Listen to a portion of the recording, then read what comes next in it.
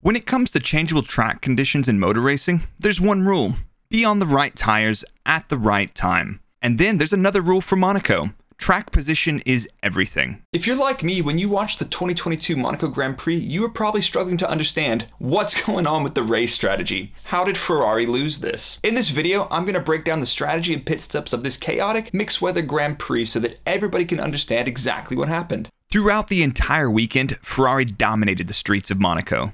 Leclerc and Sainz trading lap times back and forth with Perez decently in the mix. Verstappen never really looked as confident as Perez around the circuit. Maybe there was something about the car balance or track which just played to Perez's strengths. The Ferraris qualified 1-2 with Leclerc and Sainz, while the Red Bulls lined up behind them with Perez standing third and Verstappen fourth. Since the second half of the race was merely a procession, as is typical in Monaco, I'm going to focus on the first half of the race and explain what happened between the Red Bulls and the Ferraris. In order to help demonstrate what's going on with this race, I'm going to constantly refer to two different figures. This is the first figure which I'm going to refer to. We'll call this one the race trace. In short, this graph demonstrates the gap of various drivers to the reference driver. Each dot represents a lap by that driver, and the vertical distance between these points represents their gap on the racetrack. This is measured in seconds. Because Sainz only stops once in this sequence, I've used him as our reference to make things a little bit easier to understand. Points above this line are ahead of Sainz, points below this line are behind him. The next graph is simply a lap time chart. This is a representation of drivers' lap times on a given lap. This is another way to quickly check the pace of various drivers at any given time, without seeing how this impacts their gaps or their strategy.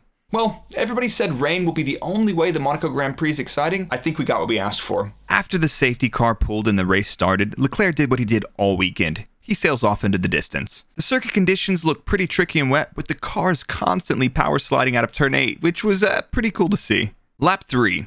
Gasly, Stroll, and Latifi take a gamble on the intermediate tires. It looks like a bit of a struggle at first, but after the next few laps, Vettel, Schumacher, and Tsunoda join them by also fitting the intermediate tires. At this point, there's clearly a drying line starting to form in parts of Sector 1. Lap 10. Between lap 10 to 12, Vettel and Stroll are producing reasonable lap times on the intermediate tires. When the wet and intermediate tires are producing similar lap times, we call this the wet inter crossover conditions. If the circuit is drying and no further rain is expected, the inter is the correct tire to be on at this point. You can see Vettel and Stroll catching traffic, but their clean air lap times are a match for the front runners, who are still on full wet tires. Now, there's a reason why Sainz and Leclerc are not stopping for inters. At this point, none of the drivers have a pit window to the McLaren of Norris. Remember, track position is key. About this time, we hear some dialogue between Sainz and his engineer. Sainz insists they should wait and try to go straight to a dry weather tire, rather than doing a few laps on the intermediate. He can clearly see that the track is drying, but the wet tire still seems to be hanging on for him. By lap 15, Leclerc has gapped his teammate by over 5 seconds. He's showing that the Ferrari has the pace in the wet as well as the dry. On lap 16, Perez comes in for inters. Now, this is a very risky stop. Looking at the race gaps, the Red Bull strategists will have seen that if Perez stops now, this will drop him right out onto Norris. But they pull the trigger anyway. Fortunately for Perez, Norris pits on this lap as well. Now, this is where it gets interesting. Checo's outlap on inters is the same pace as his flying lap on the wet tires. You can see here on the race trace, Checo's gap is not changing to the front runners. At this point, Red Bull are still monitoring Verstappen's pace and are just looking to see how Perez is getting on with his new intermediate tire. Lap 18. Now, this is where it gets very spicy and a lot of things happen pretty quickly here. Leclerc is easily 25 seconds ahead of Perez, which should be an okay but pretty close pit stop window. But then this happens. Perez's first time lap on the inters is a full 7 seconds a lap faster than Leclerc's last lap on the wets. Now, without going into too much detail, here's a telemetry example of how fast Perez was on lap 15 on old wets versus one lap old intermediate tires. Turn 3 and 4 are so much faster, he no longer needs to lift through the tunnel. By sector 3 on this lap, he's not just taking tenths out of Leclerc, he's taking seconds away from him. Leclerc exits the pits and comes out behind Perez. Verstappen then pits and maintains his gap behind Leclerc. Sainz is now leading the race. He's still on wets. His engineers are telling him to stop for inters, but Sainz tells the team, no, I want to wait for the dry weather tires. Perez inters are already warmed up and he is flying ahead of Leclerc. Perez puts another 3 seconds into him, lap 21. Sainz pits for dry weather tires and goes straight to the white sidewalled hard compound.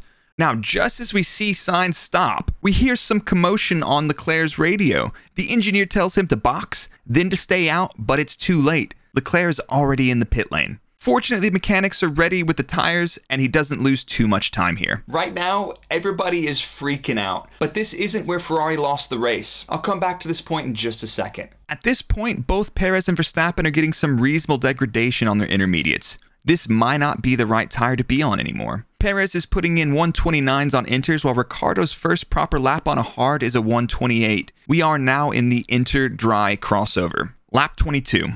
The Red Bulls decide to stack and pit both of their cars for hard tires. While the Red Bulls are performing their stops, Sainz encounters a bit of lap traffic, which allows Perez to come out about 5 seconds ahead. Max comes out just 1 second behind Sainz. Your current race order is Perez, Sainz, Verstappen, Leclerc. Now, this is the end of the race for Ferrari, and this is the end of the race for the front of the field. Now, let's go back over the race with a bit of hindsight and understand what happened. To be fair, some of this isn't hindsight at all. Ferrari threw Leclerc's raceway when they ignored both of the rules. Be on the right tires at the right time, and track position is everything around Monaco. Looking back at the Aston Martin early race on their intermediate tires, Ferrari had enough information to understand that the intermediate tire was a good tire to be on at this time, even before the Red Bulls went out and started setting rapid lap times. Even if they had stopped the next lap after Perez, they would have easily covered Perez. Yes, both the Red Bulls did very short stints on the intermediate tire, but they were on this tire when it gave them a huge pace advantage.